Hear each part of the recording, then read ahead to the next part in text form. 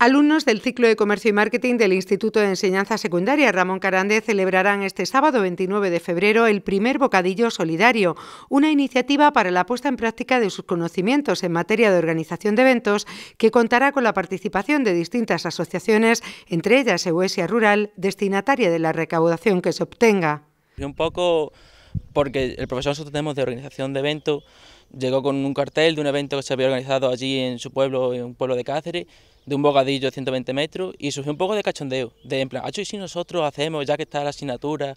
Y fue tomando cada vez, lo fuimos diciendo más en serio, y al final pues ha llegado a esto, a realizar nuestro propio evento solidario. La actividad va a consistir en un bocadillo de aproximadamente unos 30 metros de jamón. También habrá barra con bebidas, actividades que realizarán las asociaciones de Jerez que hemos invitado a que colaboren con nosotros. Y bueno, el evento lo hemos organizado pues los de segundo de grado superior y los demás ciclos, o sea, grupos del ciclo,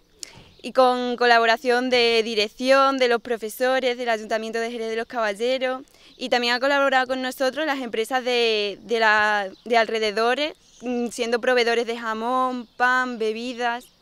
Lo que estamos haciendo nosotros es un stand donde hay información de los ciclos, que se vea qué es lo que hacemos, también donde se harán los tickets para el bocadillo y para la bebida.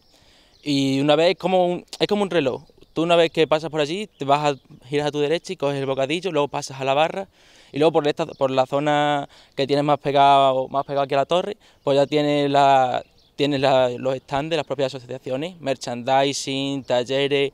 estas asociaciones, pues nosotros este año lo hemos hecho que vaya al 100% destinado a OSI Rural, que ayudan a personas que están en riesgo de exclusión,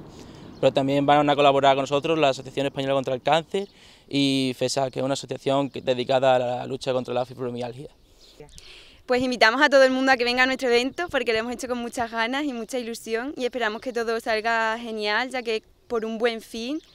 y aunque tienen que estar un poco pendientes de modificación del lugar por el tiempo, pues les invitamos a que se animen y vengan y colaboren con nosotros.